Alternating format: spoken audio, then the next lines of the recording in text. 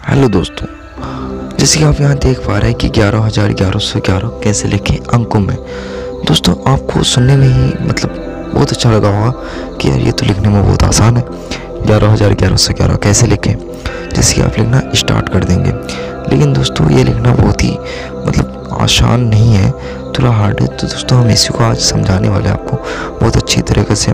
आपसे आग्रह है कि हमारे वीडियो को आप शुरू से अंत तक ज़रूर देखें। दोस्तों, उससे पहले मैं आपको बता दूँ, अगर आपने हमारे चैनल को सब्सक्राइब नहीं किया तो सब्सक्राइब कर दीजिए और उसके बगल में जो बेल आइकन है, उसको भी दबा दीजिए, ताकि हमारे लेटेस्ट वीडियो का नोटिफिकेशन आपको मिलता रहे। तो दोस्तों, आप क्या करते हैं? आप क्वेश्चन देखिए तो आप यहाँ क्या करते हैं? ग्यारह हज़ार देते हैं, ग्यारह सौ देते हैं और ग्यारह लिख देते हैं। लेकिन दोस्तों, आप यहाँ देख पा रहे होंगे कि हमारा क्या हो गया? एक लाख ग्यारह हज़ार एक सौ ग्यारह हो गया। अब तो ये हुआ नहीं। जो हमने लिखा वो सूझ के हुआ नहीं। अब हमको लिखना क्या था? ग्यारह हज़ार ग्यारह सौ ग्यारह। लेकिन हमारा क्या हो गया? एक लाख ग्यारह हज़ार एक सौ ग्यारह। दोस्तों, हम इसको अब गलत हो रहा है। तो हमको ऐसा लग रहा होगा कभी कभी कि शायद गुस्सा गलत हो। लेकिन दोस्तों, फिर हम दूसरा तरीका अपनाते हैं। जैसे कि आपको पता है कि हम अगर चार हज़ार चार सौ पंद्रह है तो आप इस प्रकार से लिख देंगे। इस प्रकार चार हज़ार चार सौ और पंद्रह लिख।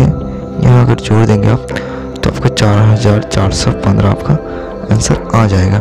लेकिन दोस्तों आप इस पर कैसे होगा? इस पर देखिए, अगर आप इसको इस प्रकार से लिखना चाहेंगे, ग्यारह हज़ार, ग्यारह सौ, क्योंकि ग्यारह हज़ार तो है तो ग्यारह हज़ार देना ही है। ग्यारह सौ है तो ग्यारह सौ भी देना है, और फिर ग्यारह है तो ग्यारह भी दे रहे हैं। लेकिन दोस्तों, जब हम इसको टोटली करते हैं तो हमारे पास आता है बारह हज़ार एक सौ ग्यारह।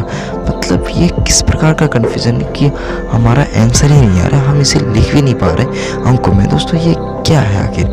हम इसको क्यों समझ नहीं पा रहे? यही समझाने वाले हैं। दोस्तों, आपको ऐसे, या करने पर भी आपको पता लग रहा होगा कि क्वेश्चन गलत है, या फिर ये गणित की भाषा में गलत है। या, दोस्तों, ये मैं बता दूँ, नब्बे परसेंट लोग इसको समझ ही नहीं पा रहे ऐसे समझ पाएँगे तभी तो लिख पाएँगे। दोस्तों, आपको मैं शॉर्टकट में ये समझा देता हूँ कि आपको कभी भी आप यहाँ देख लीजिए इकाई इकाई या दहाई एक, जैसे कि ये हो गया इकाई ये हो गया दहाई ये हो गया सैकड़ा। ये होगा हज़ार और ये होगा दस हज़ार। ये लाख और ये दस लाख।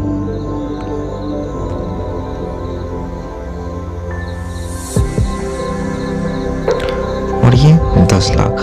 दोस्तों, हमेशा याद रखिएगा इकाई पे एक आता है, एक ही अंक आता है, दाई पे भी एक अंक आता है और सैकड़ा में भी एक अंक आता है। मतलब इन तीनों में एक एक अंक आता है।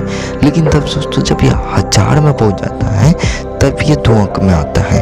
तो दोस्तों, आप यहाँ देखिए, जब हज़ार आ गया तो यहाँ अगर हम दो देंगे तो यहाँ हमारा जो है, ये दो हज़ार हो गया।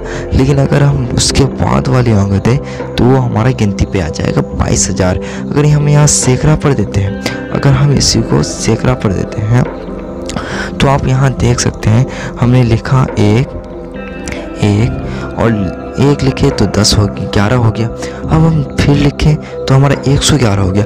अगर हम उसी को चौथी बार लिखते हैं तो हमारा हज़ार पर पहुँच जाता है। मतलब कि सैकड़ा पर पहुँचता ही नहीं है। मतलब जब सैकड़ा पर पहुँचता नहीं है तो दो अंक का सैकड़ा नहीं होगा। जब सैकड़ा नहीं होगा तो इससे हमें क्या पता लगता है कि हमारा क्वेश्चन जो है गणित की भाषा में वो गलत है। हमारा क्वेश्चन गणित की भाषा में गलत है। हम इसे इस प्रकार नहीं लिख सकते हैं। ग्यारह हज़ार ग्यारह सौ ग्यारह नहीं लिख सकते। हैं हम इसको हम जैसे हम अगर इस पर नोट पर भी लिया, जैसे कि पैसे पर, अगर हम कोई आदमी हमें गिनती करने के लिए दे देता है, पैसे अगर हमको गिनती करने के लिए दे देगा तो हम क्या करेंगे? उसको ग्यारह हज़ार ग्यारह सौ ग्यारह रुपये थमा देंगे। मतलब उनके हाथ में देंगे और बोलेंगे उनको कि गिनती कीजिए। तो दोस्तों, वो गिनती करने के बाद हमको इतना ही बताएगा कि बारह हज़ार एक सौ ग्यारह रुपये बताएगा। ना कि वो हमको बताएगा ग्यारह हज़ार ग्यारह सौ ग्यारह रुपये मतलब इससे ये पता चलता है कि हमारा जो गणित की भाषा में ये क्वेश्चन है, ये गलत है। हमारे गणित की भाषा में ये गलत है। हाँ बोलचाल की भाषा में आदमी कुछ भी बोल देता है, उसमें कोई दिक्कत नहीं है। बोलचाल में ये सही है, बोल सकता है, लेकिन हमारा जो गणित की भाषा में है, ये क्वेश्चन गलत है।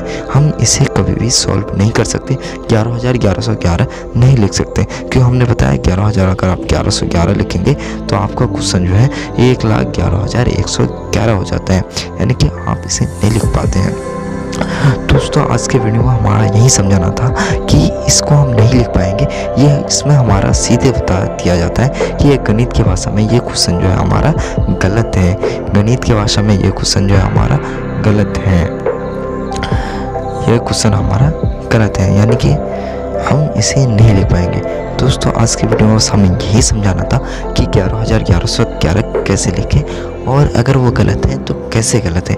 दोस्तों, इससे समझाने के लिए हमने आपको ये जो सहारा लिया, इकाई दहाई सैकड़ा वाला का तो दोस्तों ये सबसे बेस्ट तरीका समझाने का और इसी तरह से आप किसी को भी समझा सकते हैं। तो दोस्तों, आपको, हमें उम्मीद है कि आपको हमारी वीडियो बहुत अच्छी लगी होगी। हमारे साथ बने रहने के लिए धन्यवाद।